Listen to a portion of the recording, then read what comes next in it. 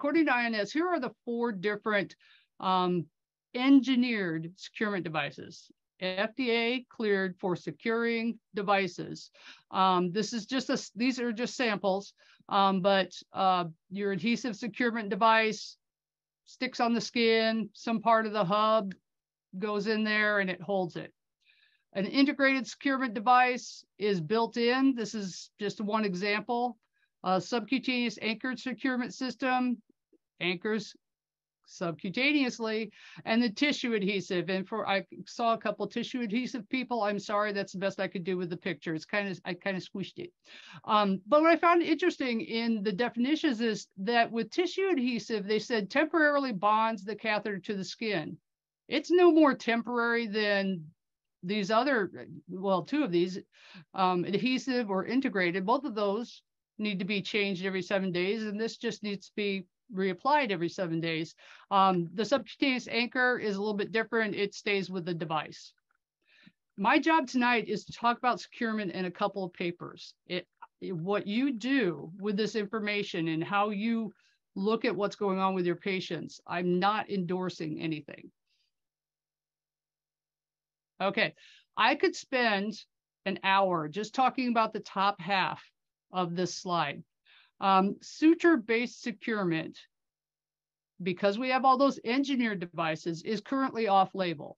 It was appropriate to use suture-based securement off-label when we didn't have four options for engineered securement devices, but some of you may still be seeing sutures in your area. And then creative taping. Um, tape may be an adjunct to your current securement device, but if you're using a lot of tape, I would evaluate what device you're using to secure it. You shouldn't be adding on a bunch of tape. Um, but it's not really labeled to be the primary securement for vascular access. Okay, so how important is it to dwell the tip of the device in the optimal position? Well, what is the optimal position? When we're talking about CVADs, it's the lower one third of the SVC or the cavoatrial junction or the inferior vena cava if we're coming up from the bottom. A suboptimal placement increases the risk of complications, but you don't have to believe me. I, I gave you a few people to look at down here, but there's a lot more. You need to put it in the right place in order to have um, fewer complications. So how important is it to keep the vascular access device in the optimal position? All right, well, I want to talk about movement a little bit before we get to that. Internal movement of the central, the, of the CVAD happens, okay? Um, if your patient breathes, it moves. So we want them to breathe. Um, arm movement, it's gonna move a little bit. Coughing, vomiting, sneezing, gonna move change in physical condition. Say you put the CVAD in when the patient was in a coma and on a vent. And a couple weeks later, six weeks later, you did such a great job that they're now out mowing the lawn. Little bit different securement issues for those two um, physical conditions. And there really is no securement we can do, anything we can do for the internal movement. It's going to happen. We can't put a little weight on it. We're not going to staple it to the SVC. Um, the only thing we can really do is we can impact the amount of internal movement by putting the tip deep in the SVC um, or at the cavoatrial junction. Okay, a little bit of talk about dislodgement. In the INS standards, you'll see this. Never, I'm not going to read it all to you. Never advance any external portion of the CVAD that has been in contact with the skin into the insertion site. Okay, so basically what they're saying, the reason you can't do that is we can't sterilize skin. So if the catheter goes out a little bit and goes back in and goes out a little bit and goes back in, every time it's going to grab some bacteria and bring it in. Okay. Um, so what is the acceptable length of the catheter that can go out and come back in? What is the uh, time on the skin? None, never, never. okay.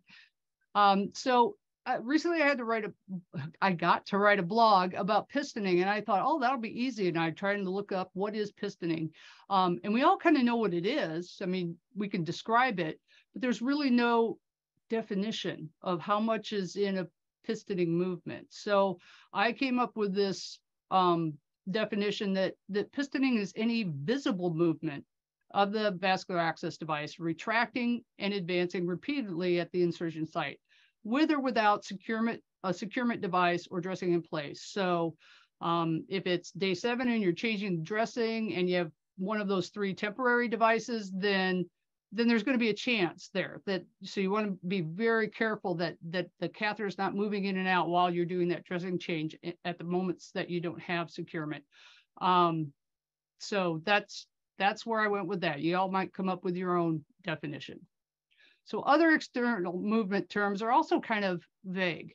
Um, retraction, sort of an ambiguous term about the amount of catheter that is out of the body, but not necessarily in relation to the original placement. So is it a retraction after the previous retraction that was a retraction from the week before?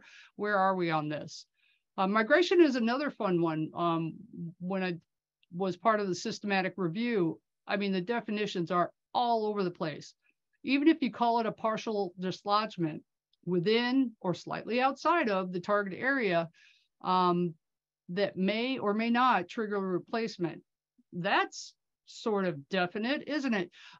The reason it's so vague is that it's based on how much, where you put the catheter in the first place, it's based on how uh, flexible your institution is. Well, it's still in the SVC somewhere, so we're going to use it. Or is it in that optimal position where we have minimal complications?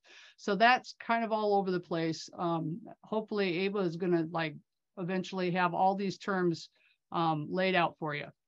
In dislodgement, you think that would be easy. It's dislodged, it's uh, out of the body and laying on the bedside table, or it's laying on the floor, or it's uh, hooked to that doorknob over there. But a complete or a significant dislodgement, for the most part, will trigger a replacement. Okay, it's far enough out that the whole world knows it needs to be replaced. Okay, so when we talk about cost of the optimal tip position, it's really, really, really important to get that catheter in the right place um, on insertion. We spend lots of money with training and, and uh, technology, um, all kinds of things to make sure that we get the tip in the right place. But what do we spend and what do we think about keeping it there? Just think about that. Same with the time we we're so concerned about that first part about getting it there and that's important. Um, but you could do that time on a stopwatch. But keeping it there the securement part of it is days weeks months years it's a long time. Okay so i was just going to touch on a couple studies. I was part of a systematic review. I was one of four, four authors and we spread the net, net wide. We looked at over 8000 things that were even tangentially involved with securement. We got it down after a long time um, to about 39 studies that had data we could actually use. Um, securement affects a lot of different things. It affects safety of the clinician, safety of the patient, CLABSI, skin irritation, lots of things. But our two primary endpoints were safety and efficacy. Tonight, we're just talking about efficacy. In other words, does the securement do what it was designed to do? Secure it in the optimal position. So I'm not going to take a deep dive into stats, but here is um, just what we found um, with the uh, systematic review. And the N here are the number of studies, okay? This is your adhesive, integrated, subcutaneous, suture-based securement, and tissue adhesive. A number of studies, not number of patients. And at the time when we did this, we had five studies with tissue adhesive, but the number of subjects doesn't give you a really good idea of, of its ability. So I wouldn't want to say it's the greatest thing ever, or I don't want to say, oh, it never works. There's still studies. There's lots of studies being done with tissue adhesive, and there's lots of uh, good things about that. Um, it, but these had, like ISD only had four studies, but it had more patients. But basically what we can tell here is that based on the review, um, we were able to do a meta-analysis on this one thing. And if a patient has a subcutaneous anchor, it's a very high degree of um, certainty that, or, you know, that the catheter is going to stay where it's supposed to stay uh, compared to these others. This, we marked it, but it's really not fair to tissue adhesive either way down here. So how likely is it that a patient will complete their therapy with one vascular access device? You know, kind of my goal. Well, it largely depends on what we secure it with. So recently, um, online, there's a, a, paper that just came out, an article, and I'm an author on that. And we looked at, at patients in a hospital in the UK. Was a retrospective study, so you know, weigh it that way. Um, but we had over 9,000 patients and over a million catheter days. That's a lot of data. Um, and when we looked at that, the removal, if you just looked at the removal portion on was it removed because it was partially or completely dislodged with an adhesive securement device, about 12% of them didn't make it to the end of therapy. They had to have a replacement. And that was almost, well, it was 944 patients. And we had, because they adopted it really quick, they adopted this, the subcutaneous anchor we had a ton of data. We had, you know, over 8,000 patients there and only a 0.4% chance that the patient would have to have their catheter replaced because of partial or complete dislodgement.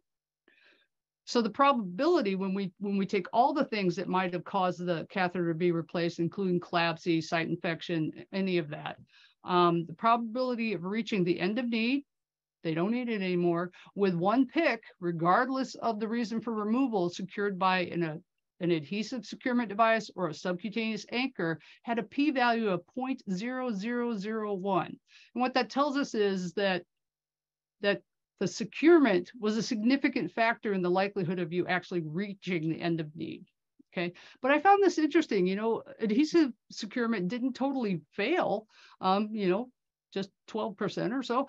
Um, and the longest dwell time for these patients it, for this situation for an adhesive securement was 663 days. Now, here in the US, we would go, what the heck? I mean, that's two years.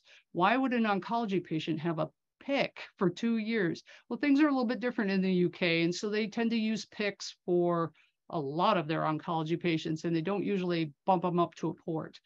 Um, so 663 days, almost two years. And during that time, if they had dressing change every seven days at, at least, they would have had 95 times that the that the securement was removed and reapplied and removed and reapplied.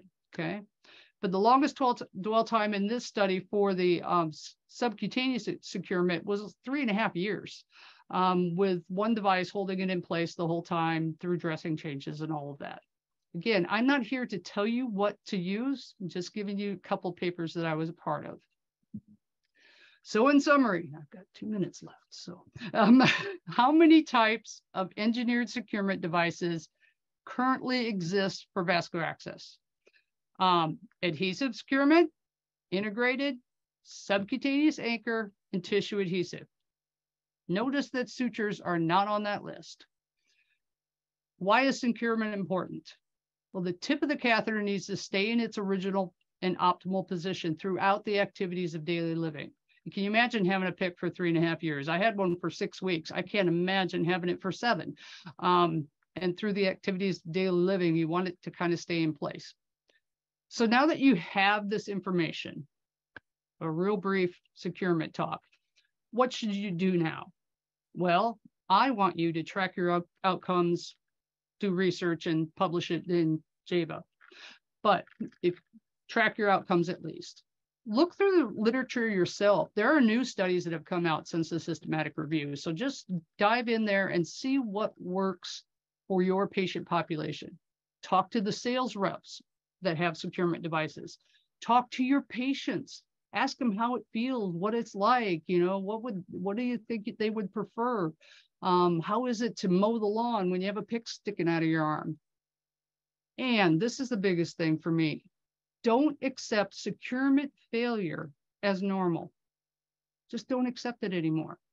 There, we can do better. Does us no good to spend thousand dollars to get the tip in the right place if we're not going to make sure it stays there. All right, in case you think I made this up, I, you know, here's some references. All right, that's it. Mickey, that was great. Now I need to stop sharing and take on questions, which is usually my favorite part. it's always fun. So guys, do you have any questions for Mickey? You can either put your hand in the air and we will call on you, or you can put it in the chat and we're happy to have her I'm- answer for you. I wonder what physicians would say about sutures being off-label. Yeah, you know, there's uh, so I've been um I have a three-part editorial series um in JAVA. The first one came out with the spring edition. The the fall one is coming out. The first one was about getting the sutures out of um convenience kits. It's crazy. Um and the next one is about the safety of sutures and how it compares to other securement and then and, and needle stick prevention act and all of that and the last one's about efficacy or do sutures actually do so much better than every other securement device that's why we still use them so um, you can look for those and um, talk to your physicians i think if we get them out of the kits and they don't have a choice you can hand them whatever you've decided is the the right thing Absolutely. We're getting some questions in, Mick. So let's start with the top. And Mary's never used uh, sutureless securement.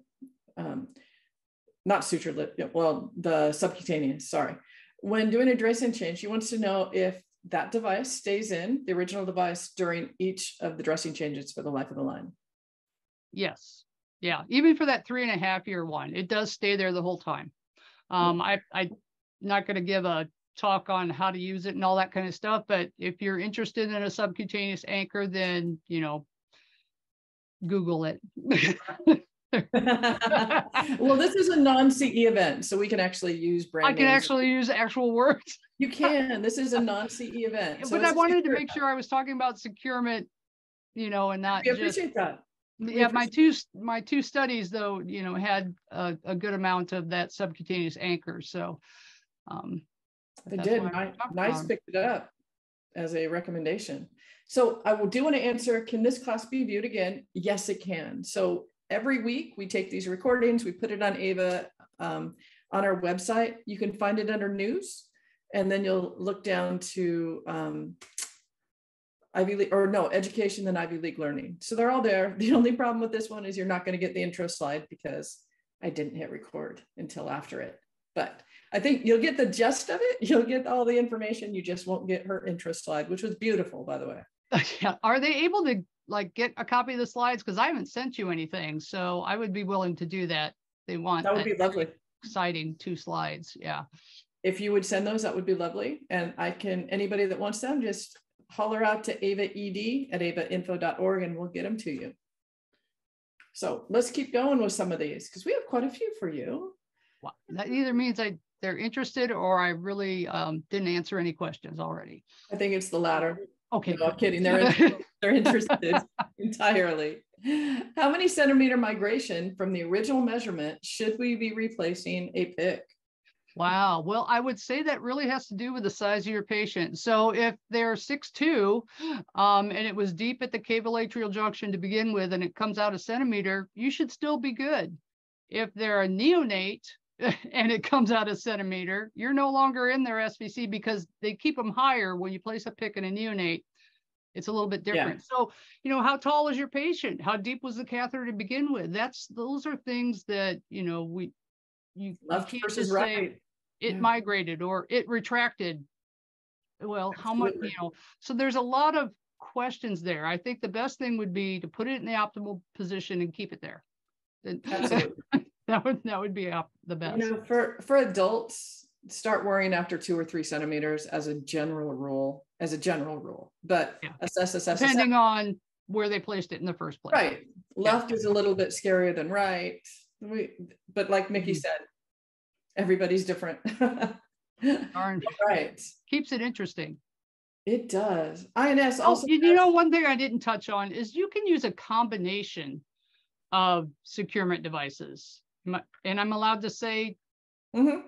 So one of my favorite combos is SecurAcath with tissue adhesive during the first week or so because it plugs the hole so there, there's no pistoning because of the this subcutaneous anchor and then they've got the, the hole plugged so that's I'm allowed to, okay, if I wasn't allowed to say that, erase it for the, um, You're hundred percent allowed to say it. I promise, I promise. So. Non-CE, we're good on- on these. You crack me up. I told you we were casual, Mickey. We're cash. INS has, also has integrated securement dressings as a securement option. Were Mhm. those viewed or reviewed at all? Yeah, um, that's the ISD integrated securement device. I think it should be integrated securement dressing.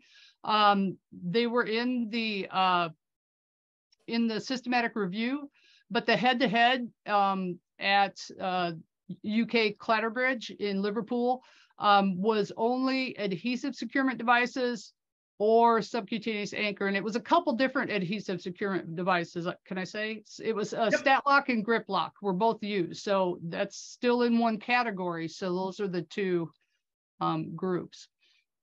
Thanks. So did I hear you say apply liquid securement device with, sorry, Marianne, did I hear you say to apply liquid securement device with every dressing change? Yeah. You know, That's I might have to pass that on, but but according to what I understand with tissue adhesive is that you know over the the span of a week it will kind of slough. You know, thank It does. goodness. I mean, eventually you eventually want to be able to take the device out. Um, so um, it's sort of done all it can for a week, and so if you want to continue to use tissue adhesive as a way to secure your device, you would need to reapply it um, each week. Perfect. Um, what's Judy, your we had about- one up top. Um, Grab it. we missed. I hate it I when never used the SAS, which is subcutaneous. When doing a dressing change, does the original device stay throughout the life of the PICC? I I think Yeah, I asked that Yeah, first. yes. that was the Okay. first one, but yeah, yeah, it does. It, it just holds on. It, it, it grips it and it just holds on the whole time. Um, and, and when you're doing a dressing change, when you have one of those devices, um, it's kind of nice because you can move the catheter around and clean really well.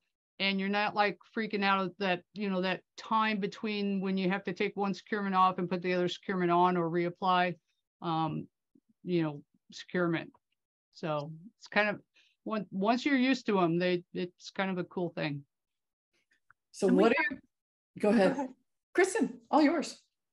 I was gonna say, it looks like Mark um, wrote in here. What is your feeling about the many different names throughout the world for securement types and categories? Sometimes I think it causes confusion. kind of like the terms for movement, external movement.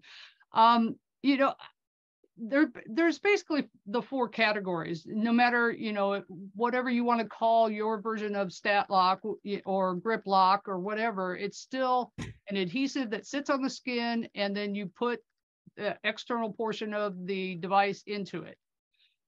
Uh, there's different kinds of tissue adhesive based on their chemical compounds, but it's all a liquid tis- tissue adhesive, you know, what, what you call it in your part of the world, you know, so I don't know, and, you know, pipe up all you really smart people on this call, of anything outside of those four types of securement devices. And I think when you're talking about categories, and then you kind of figure out, well, what type of securement do I have? I think that's really something AVA needs to look at is some of the nomenclature. And I think Mickey Hawes would be a perfect person to head that. Oh, I wasn't holding my hand up to volunteer. I'm not. I was giving you an amen, but no, I, you know, I'll help with whatever I can. I love that. Now, when we talk about tissue adhesive as well, I know there's other other tissue adhesive on the market, but they also have a thermal um, expanse when they get on the skin. So if you use a, a dermabond, and I've used it, it can for like you can't use it on baby, it'll burn their skin. So there's different combinations, and and- uh, Secure Port is actually, I don't get paid by them, by the way. Um, Yeah. They actually have a vascular access claim where others don't. Yeah, yeah. You know, look at the IFU, talk to the reps. You want to stay in the engineered securement device realm. So if whatever you're using fails, you know where to report it. So we have even more data on what's working out in the real world and what's not. I saw somebody say never advance it down there, but I couldn't read fast enough. Right.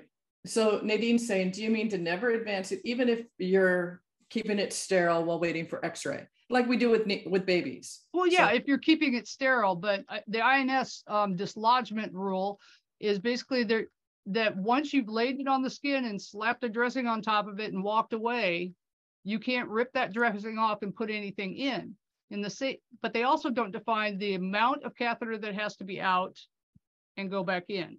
So is it one millimeter, two millimeters, a centimeter? What counts? According to them, any mm-hmm. length that's been on the skin is bad. So that's where, you know, when I tried to look up the definition of pistoning for vascular access devices, really hard to define. So I went with whatever I can visually see going in and out. If I can't see it visually, it might be happening at the micromillimeter or nanometer, but if I can't see it, I can't fix it.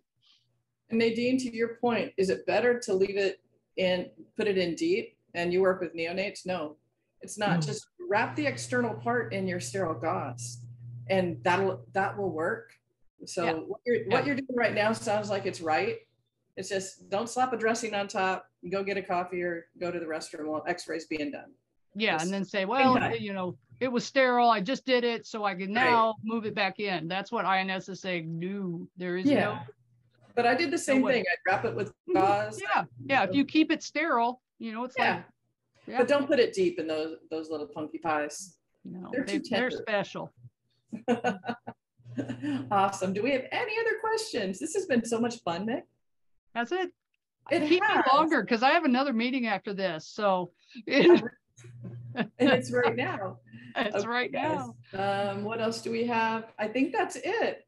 Everybody, thank you so much for being here today. We appreciate you. Mickey, of course, we appreciate you for everything you do for us and AVA and the organization. Guys, be safe. We'll see you in two weeks. IV League Learning. And take a survey. Please take a survey. Okay. Bye, Bye. everybody.